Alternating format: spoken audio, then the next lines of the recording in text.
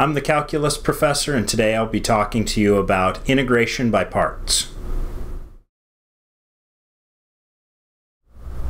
In problem number 25, I'd like to evaluate the integral of e to the minus x sine of 4x dx. All right, so if we're going to integrate this uh, using integration by parts, then I need to start out by choosing a u and a dv.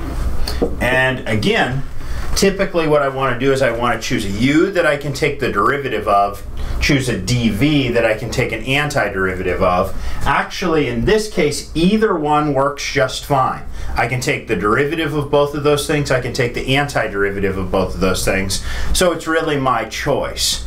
So what I'm going to do is I'm going to say, let's let u be e to the negative x, and dv will be my sine of 4x dx. So u, du the derivative of u will be negative e to the negative x dx, and v will be the antiderivative of sine of 4x, which is uh, negative cosine of 4x divided by 4.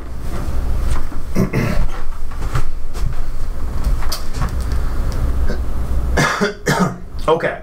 So we've got our u, our dv, our du, and our v, and now we can rewrite this thing using integration by parts. So what we get is we get that this should be equal to u times v.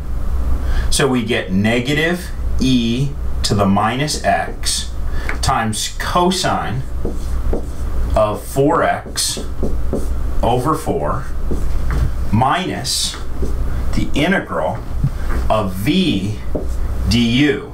Now, uh, notice here I've got a lot of negatives going on. So be a little bit careful. I've got a negative here and I've got a negative here which gives me a positive. So what's inside will be positive. So let's just write it in that way.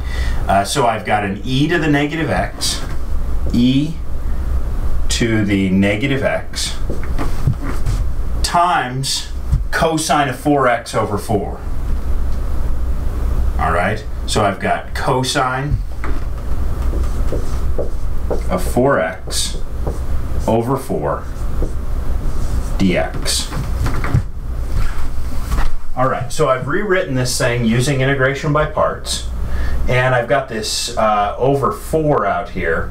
I think that that would be much better for me if it were out here in front of the integral.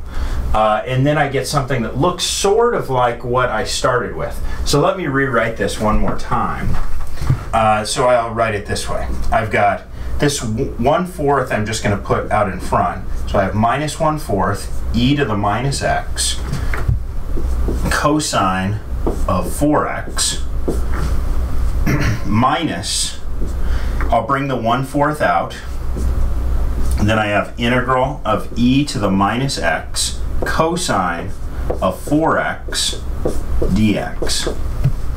So now, to finish this problem off, I need to integrate e to the negative x cosine of 4x dx. And you might be saying, well, that looks a lot like what you started with, except there's a cosine instead of a sine. And it's true. And so we need to use integration by parts again on this guy. So let's do it. So look at this guy. I'm going to rewrite this. Okay, I've got a u, and my u is going to be e to the negative x. And my dv is going to be the rest of the stuff, which is cosine of 4x dx. The derivative of e to the negative x is negative e to the minus x dx and the antiderivative of cosine of 4x is sine of 4x divided by 4. All right, so now we're ready to rewrite the integral that's sitting right here. All this other stuff is still there. I'm just rewriting that integral. So let's be careful here. So I'll start right here. So I'm moving this up here. So I start with negative 1 fourth negative 1 fourth e to the negative x cosine of 4x. e to the negative x cosine 4x minus a fourth, minus one fourth. And now I'm going to replace this integral using integration by parts. So what I want to do is let's put a parenthesis to make sure I don't mess up on my dis distribution of this minus one fourth. And then I put u times v, which is e to the negative x times sine of 4x over 4, or I could write that as 1 fourth uh, e to the minus x times sine of 4x minus integral of v du. Now, we need to be careful with our negatives again. I have a negative here, and so I've got one negative inside. Then I have e to the negative x, e to the negative x. Uh, I've got this sine of 4x over 4. Okay, so I'm going to write it this way. Sine of 4x dx. And the over 4, I'm going to write out in front of the integral. All right? So I'm putting the 1 fourth out in front. It could be inside. I just moved it out. Okay, let's rewrite this thing. So I still have this guy, minus 1 fourth, e to the negative x cosine of 4x. Now, if I wanted to, I could multiply through by this negative 1 fourth. If I do, I get minus 1 16th e to the negative x sine of 4x and then I multiply through by the negative 1 fourth times a negative 1 fourth is a positive 1 16th.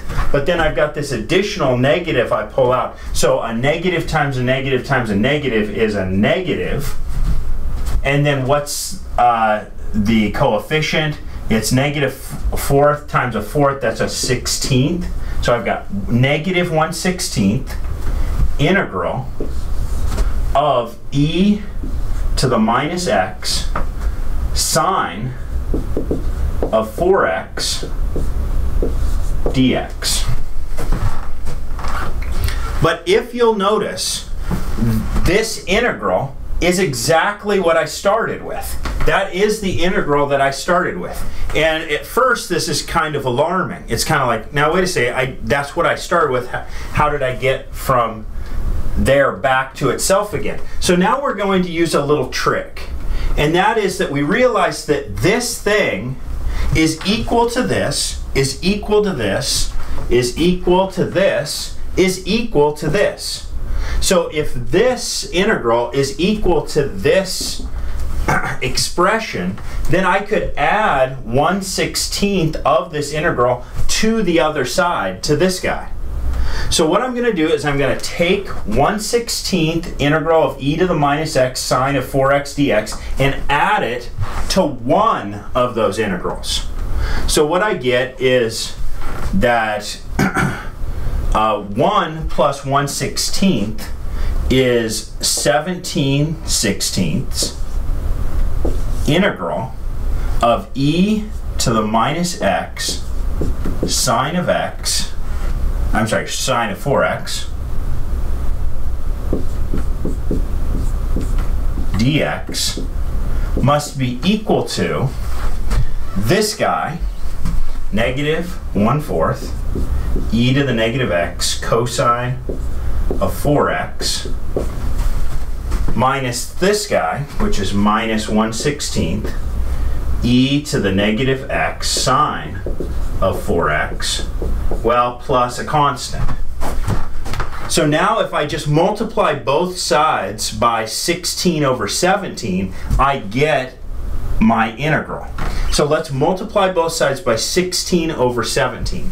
If I do, I get that the integral of e to the minus x sine of 4x dx is equal to multiply both sides by 16 over 17 and this 16 over 4 is 4 so I get minus 4 over 17 times e to the minus x cosine of 4x.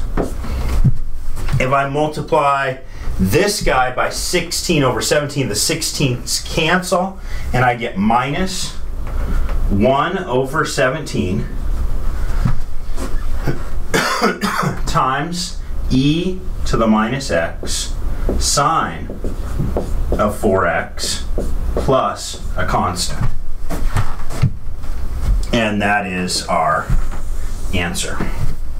Now, the most difficult part of this problem is when we have to recognize that this is the exact integral that I started with. So I should take this entire term and add it to the other side of the equation. Okay, so I took this and added it to the beginning of the problem. And that's how I got 17 sixteenths. Notice that this is one of these, or that this is 16 sixteenths of these. Okay, so if this is 16 sixteenths of these integrals, and I add another 1 16th of that integral, then I get 17 sixteenths of that integral. That's how I am able to write this next line. And then I just have to multiply both sides by 16 over 17 to get my answer. And we're done.